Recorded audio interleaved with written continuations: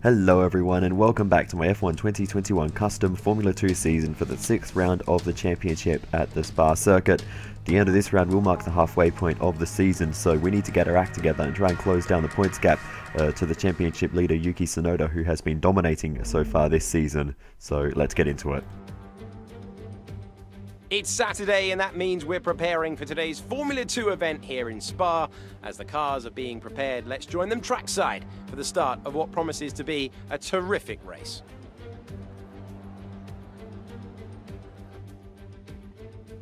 So here we are again, a whopping 4.35 miles of track here at Spa, featuring long straights, some seriously fast corners, and some massive elevation changes. This is a track that routinely delivers high quality racing, and we'll be hoping to see just that from our young F2 drivers today. Davide Valsecchi joins me today. Davide, Spa is a favourite for fans and drivers alike. What tips would you have for these young drivers today? Always a pleasure to be here, Alex. Who doesn't love Spa? I wish I was down there racing today. I would say there's a lot of places to overtake on this circuit, so be patient on that first corner. Try and get through it safely, get a good exit, and get in the right position to attack at the end of the main straight.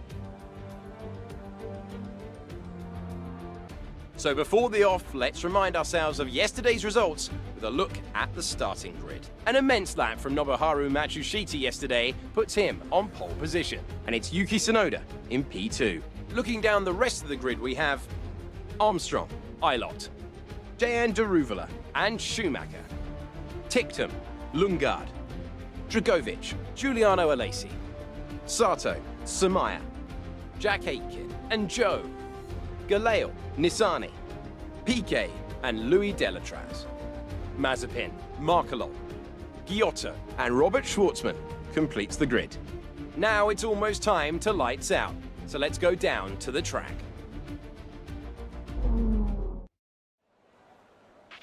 Okay, here we go. I know what you can do. Don't let me down.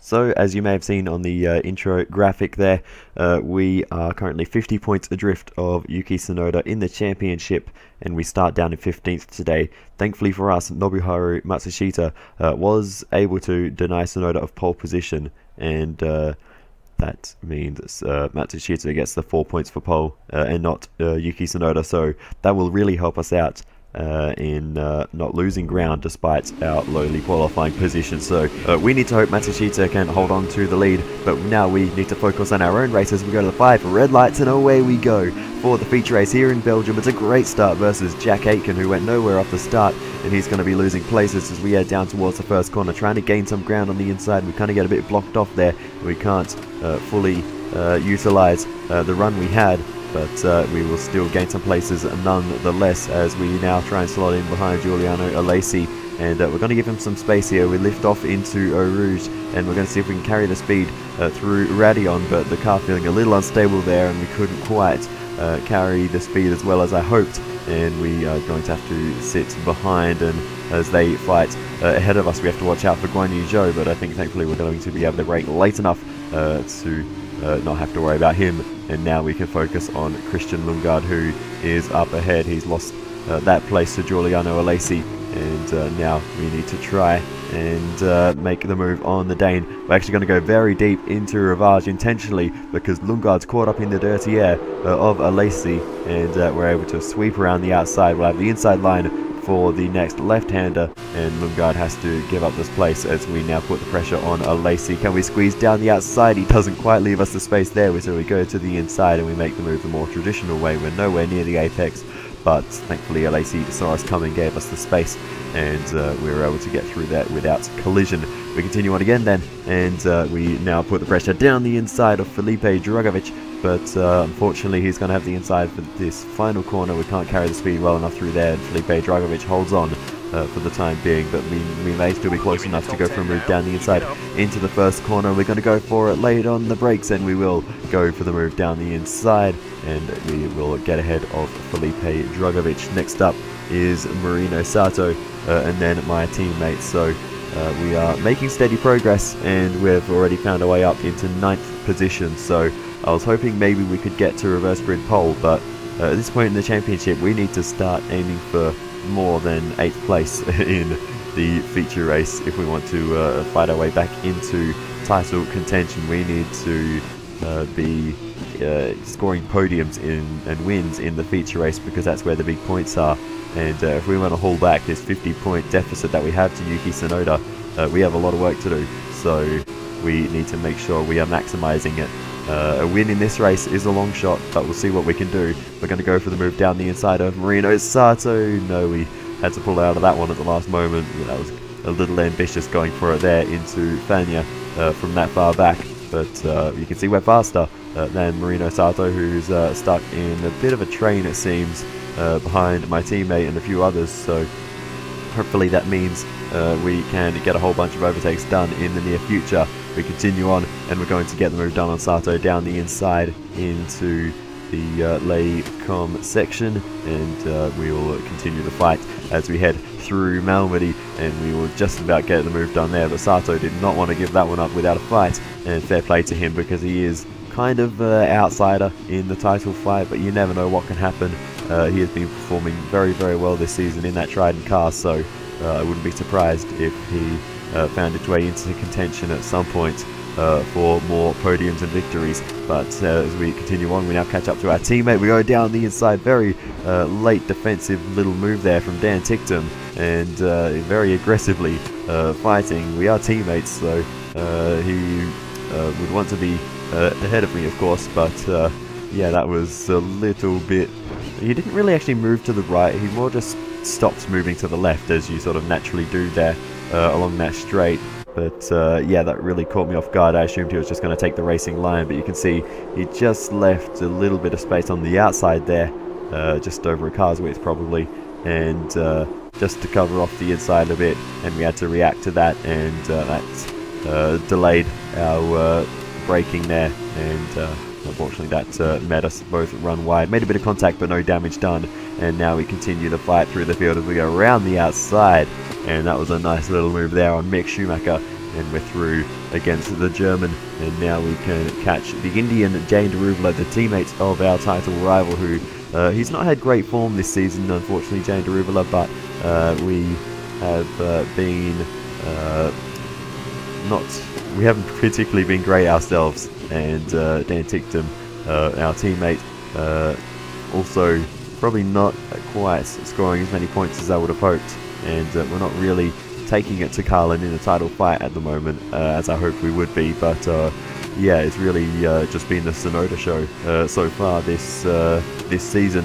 But anyway, we continue on, and now we'll see if we can make a move on Jane Daruvala as we head towards Blanchimont. It's going to be a very uh, limited passing opportunity too. We're going to have to lift and uh, give him a little bit of breathing room behind as we now head towards the uh, last few corners and we can't quite get up the inside there. Trying to look up the outside, but there's no way you can really get all the way around there uh, unless you have a substantial grip advantage.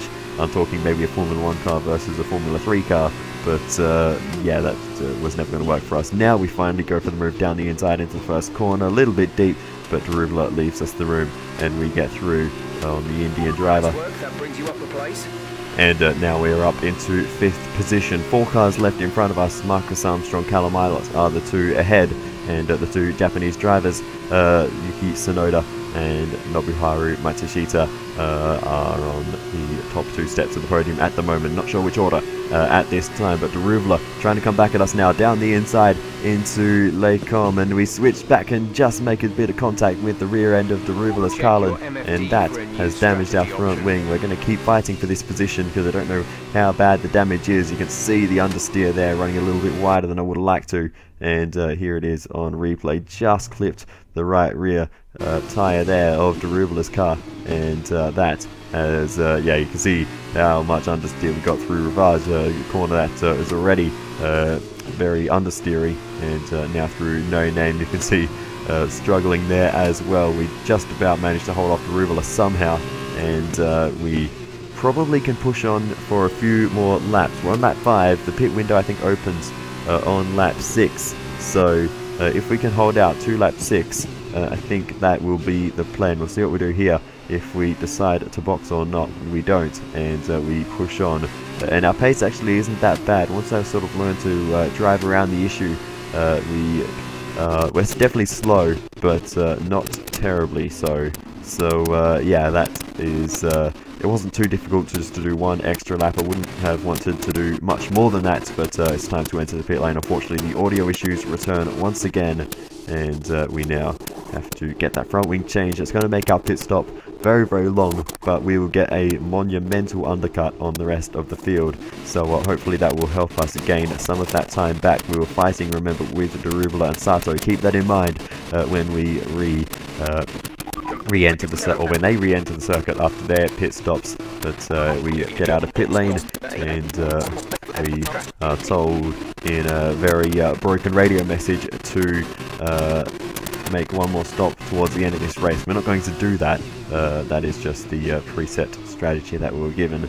But uh, yeah, we're not going to make that stop. We're going to run to the end now. It's a risk uh, running the same set of tyres uh, from the pit window to the end of the race. But uh, That's a new fastest lap of the race. with fastest laps of the race now, uh, we will gain track position once again. So, who are we going to be fighting with? And that is Jane Daruvala right there ahead of us. He has just, just come out in front of us, but that means with the fastest laps that we've been setting in the uh, intervening time, uh, we have gained uh, all of the time lost by changing the front wing. And now if we can make the move on to Ruvla we will reclaim the track position uh, that we had previously. So here we go. Uh, we're going to get Ruvla down into Les Combes and we will get there late on the brakes and Ruvla couldn't fight back. Now around the outside though with a switchback we were a little bit deep there. We had to come from a long way back to make that move. And uh, with the car all off balance and all wrong there. We weren't able to uh, quite uh, make that work. Now we try and sneak up the inside of Rivage, just Daruvala still struggling on cold tyres, and that was a sweet little move there.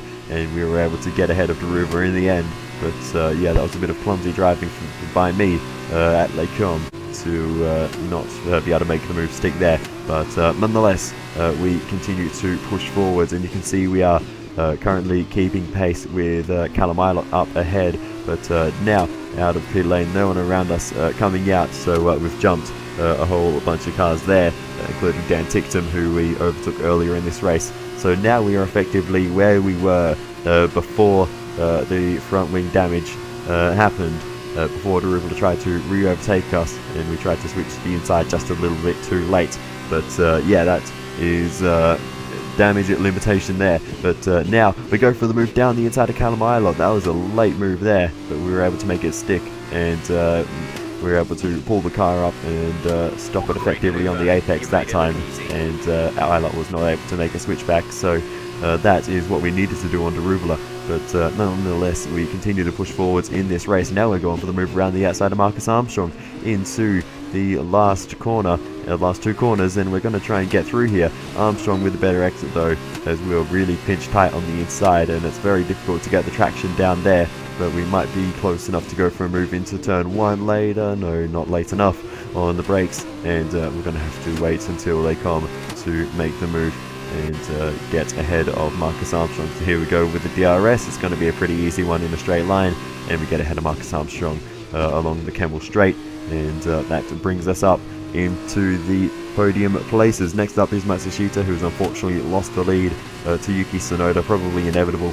Uh, really, Tsunoda has been so dominant this season. Uh, the fact that Matsushita uh, was able to take pole position uh, was uh, a miracle in itself.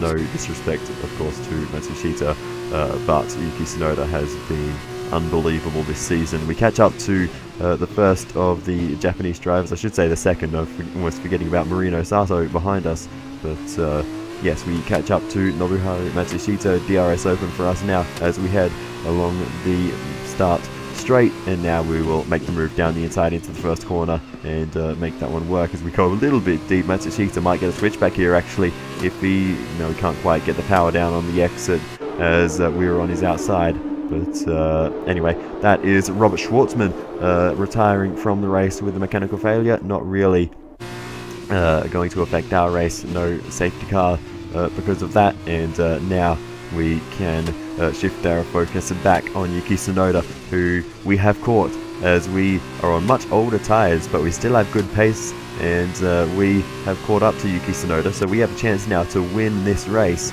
if we can make the move on Yuki Tsunoda. So here we go then as we head through Eau Rouge, Raidillon, now onto the Kemmel Straight, DRS open. We're going to make a pretty easy move here in the straight line, I think, as we sit in the slipstream.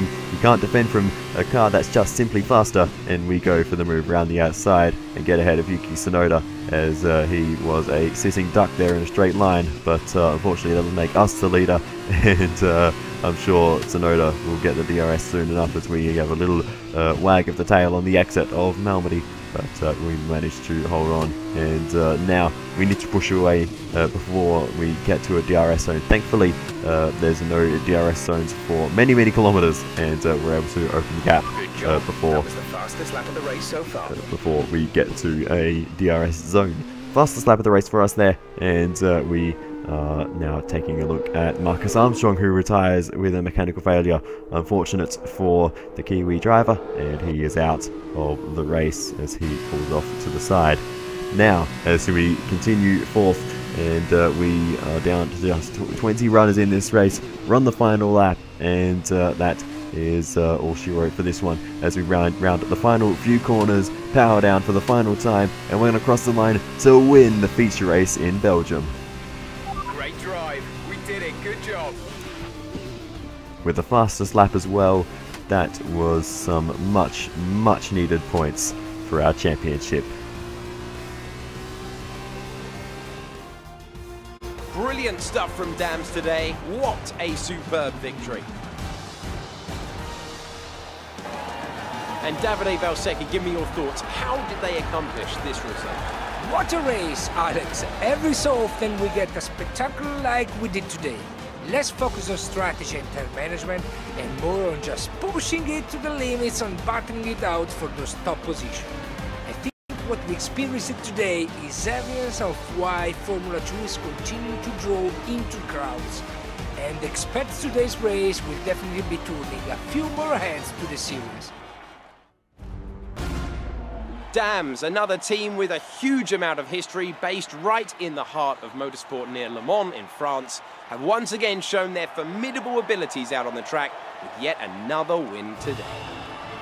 So we win the feature race here in Belgium. Yuki Tsunoda finishes up in second position with Nobuharu Matsushita in third. That's some nice symmetrical flags on the podium.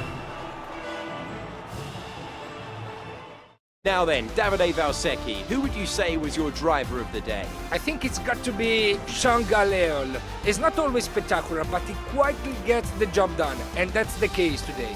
After all this drama, you'd be mad not to join us for the next race. We hope to see you then. Take care.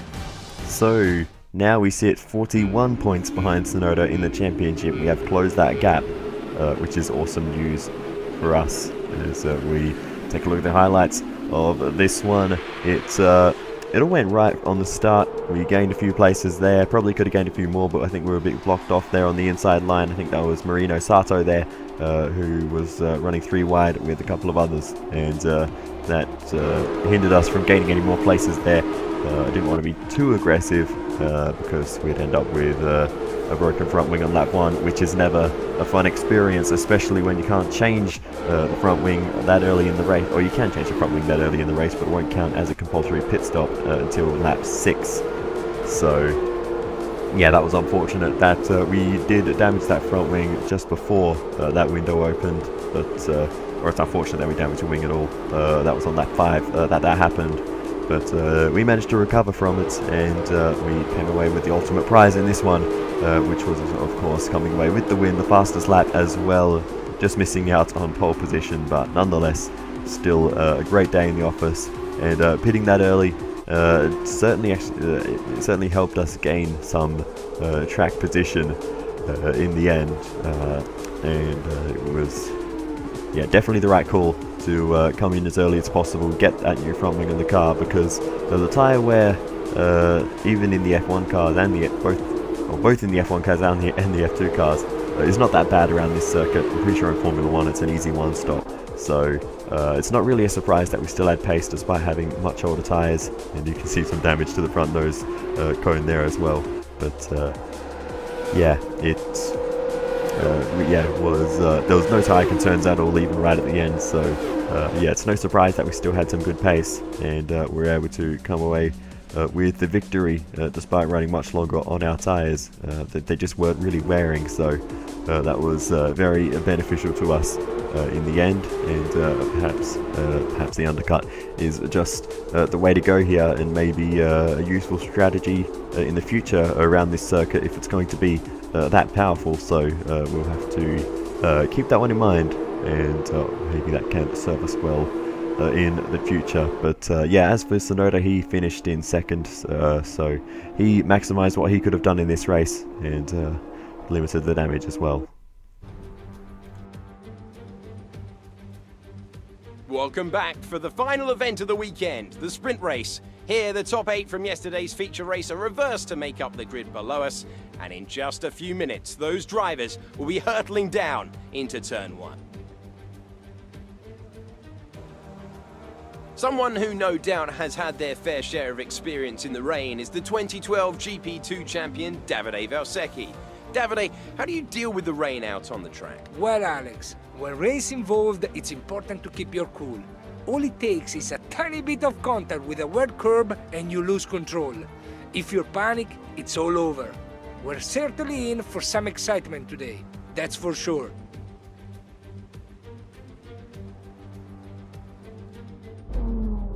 So here we are on the grid then for the sprint race in Belgium and that is not what we like to see. Heavy rain at the start of the race moving to extreme rain uh, in about 10 minutes or so uh, to around the 15 minute mark uh, and then going back to heavy rain, eventually going to light rain and stopping but that's potentially after the end of the race. Uh, judging by how long that weather scale is. So uh, that's going to be interesting, but we'll see how it goes as we go to the five red lights and away we go for a soggy sprint race at Spa, and it's a good start for us as we get a nice launch uh, off the grid, and we're going to try and make some places around the outside into the first corner, trying to stay out of trouble here more than anything else, and uh, we're able to find a nice little window of clean air to stick our nose into, and we've made our way up into sixth position already as we try and fight side by side uh, with the Prema of Mick Schumacher around the outside of Rouge and Raidillon and we will just about make the move stick not only on Schumacher but we'll also grab Callum as well.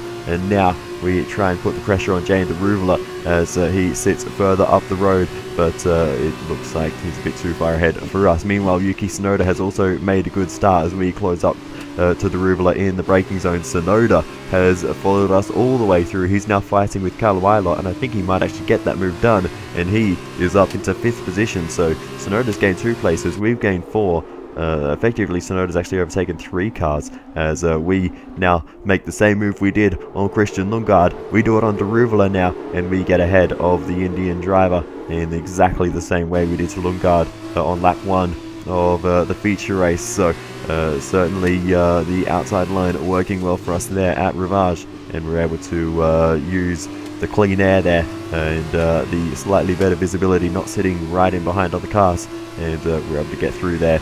And now we are piling the pressure on Marino Sato who is sitting in second position but a loser at the back end there. And we lost a lot of speed uh, from that and Daruvala gets straight back past us. And we need to be careful we don't lose a spot to Yuki Tsunoda as uh, we have to cover the inside line there. Tsunoda backs out as he had a little look around the outside. Now we need to refocus and uh, try and re-overtake Daruvala. And uh, we've had a few battles with Daruvala to this this uh, weekend, and uh, we've uh, spent a bit of time staring at his rear wing, a bit of time running into his rear tyre as well. So let's hope we don't do that this time as he defends into Rivage. So that gives us the opportunity as he has to slow right up on the apex to make the corner. We're going to sail around the outside, and uh, we will make that move stick on Jane Daruvala, and we will move our way up uh, back into third position and uh, now refocus our attention on Marino Sato. Uh, at the moment, my teammate Dan Ticktum is leading, so that's great news for the team's championship. If we can get a 1-2 here, that will be huge uh, for the team points, but uh, we need to uh, clear up Marino Sato first. We're trying to go around the outside through Fagnes, and we might actually make it work here, as we'll have the inside line for the next corner, and we get through on Marino Sato and uh, we finally get our way up into second position. Next up is Dan Ticktum. Uh, of course, I would like to reverse that one too and put ourselves into the lead because we need, uh, while Tsunoda is down the order a little bit in this race, uh, currently behind his teammate. Second place. Gap to Uh, car in front is 1.6 seconds. 1.6 seconds to uh, Dan Ticktum. But uh, yeah, while Tsunoda's down the order a little bit in fifth place, uh, we have an opportunity to gain some big points in this one. So uh, that is our target. So uh, if we can pass Dan Ticktum, uh, that is not what I want to see though, because Dan Ticktum's going slowly, and he flag. may be out of this race if he cannot get his car refired, because he is currently coming to a grinding halt and Dan Ticktum is out of the sprint race here and that's going to bring out the virtual safety car as well as uh, we continue through this lap. Uh, and uh, yeah Dan Ticktum is out of the race unfortunately for our teammate and uh, he will take no further part in this dropped out of weekend and uh, score no points for our team title hopes. So uh, there goes that idea of a 1-2 Positive delta until the green flags. It's uh, still a net gain for us though as we get back underway for Green Flag Racing. Uh, we gain a few points from that, as does Tsunoda, but not as many as we would. Uh, gaining three points by taking the lead there. Tsunoda gaining two, uh, going from fifth to fourth, I believe. So uh, yeah, uh, I guess a net gain for our championship, but it is a little compensation for having Ticktum out of the race and losing around 12 points in the team's championship fight. The rain looks like it's going to be lighter over the next 10 to 15 minutes. There should be more grip, but don't expect a dry track. Okay, so rain lightning up soon, that's what we like to hear, but not what we like is spinning at Fagnes, and that is exactly what's happened there as we try and desperately get out of the gravel trap and keep it off the wall. We have managed that as we were keeping the accelerator floored as uh, we were reversing it towards the wall. We've managed to hold on to the lead, but a lot of understeer there uh, through Stavelot, and that's allowed Marino Sato through. Now we're side by side with Jay and Daruvala as we continue this fight that we've been having all weekend, and Daruvala's just got the nose ahead of the moment, and he's going to fully be ahead of us by the time we get to Blanchimont, and we're going to back out and not let him uh, take uh, that position as we just want to make sure we stay ahead of Tsunoda at this point. As we're trying to look around can we re-overtake Daruvala into the bus stop? We're certainly close enough. We're going to go down the inside of the Indian driver late on the brakes there and we push him a little bit wide but we make the move on Jay and Daruvala and uh, that may actually give an opportunity to Yuki Tsunoda who's now round the outside of his teammate the two Carlins going side by side down towards the first corner. But I think Daruvala may just be able to maintain that position this time. But uh, those two are uh, teammates and they are fighting away at the moment. But Daruvala was able to maintain that position which is good news for us. And uh, that means there is an extra car between myself and Yuki Tsunoda now though we need to get past Marino Sato who is back into the lead of this one as we run wide on the exit of Raidillon and that's going to give Daruvala an opportunity as we're slow off that corner. He's gaining and gaining in the slipstream following us right across to the right hand side of the road. But I think we'll just have enough in a straight line to maintain the position uh, ahead of Jane Daruvala and uh, we will do just that and uh, refocus our attention to Marino Sato once again. So as we continue on, we do uh, catch up to the leader, and as we try and have a look to the outside, we're not be able to make a move there through Pouhon, so we just have to sit right behind him. And now into Fagnes, we might have an opportunity here. Down the inside we go, and we'll get the move done on Marino Sato much easier this time uh, than what we did the first time trying to go around the outside there. It's uh, a much more difficult challenge, but uh, the inside line uh, at that point of the circuit, a very good way to go. And uh, we get ahead of Marino Sato, back into the lead of this race and back in control of uh, the top points scoring position. So now we just need to push on and maintain this position to the rest of the race. Uh, speaking of the weather, it uh, seems like the worst of the rain uh, must have missed the circuit. There was certainly no uh, extreme rain. Normally that will bring out would bring out the safety car if that happened. So obviously uh, we did not get those conditions uh, at any point during this race. So uh, as we continue on, I actually turned off ABS, seeing as I had pretty good pace in this one. So uh, it's been something I've been trying to do for a while, just for the practice. And uh, I will turn it off permanently at some point. But uh, as we continue on, a bit of wheel spin on the exit, we get up on the curb, and that's a spin for us. And uh, that's got nothing to do with ABS. That was just a lack of concentration on the exit. Getting a bit of wheel spin sent us to the left over the curb and uh, now we actually may drop a spot to Marino Sato. We had a huge lead, but we've just dumped all of that time and then some and uh, now we sit behind the Japanese driver once again as we head up Eau Rouge very cautiously as uh, we do not want to make a mistake there or that could end in a barrier. We were very, very lucky to get away with that spin just now uh, on that section of the circuit. Uh, lucky we had a big gap to the next car or we could have recreated Spa 1998 but uh, thankfully that didn't happen. We continue on and uh, trying to break on the curb there uh, was never going to go well and uh, we send ourselves sailing off to the outside and uh, we lose a bit of time again to Marino Sato. We continue on then uh, to what is the final lap of the race. You can see I'm trying my best to catch up to Sato, but he's just a little bit too far ahead. And we have a look to the inside late in the piece, but we just can't get alongside. Marino Sato is going to hold on, and he's going to take the win here as he comes across the line to win the sprint race in Belgium as we just about avoid the wall and take home second position. That was a close one on the end. Pick up rubber and bring it home. Uh, of that wall there, that could have ended our race, but luckily we only made very light contact as we uh, lost the rears there as well. Marcus Armstrong is the driver of the day here, and uh, we again beat Yuki Tsunoda. So another fantastic victory for Trident today. And I have to wonder, Davide Valsecchi, just what set them apart from the competition here.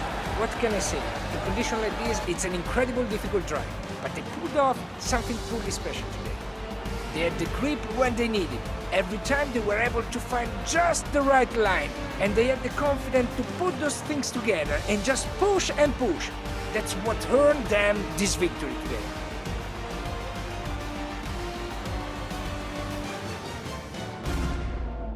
It's the part we've all been waiting for, the podium finish, and it's probably one of the more unexpected finishes in a while. Trident take the victory, and Trident have made huge strides within F2 recently, and today proves that they're not only still in the race, but they're in it to win.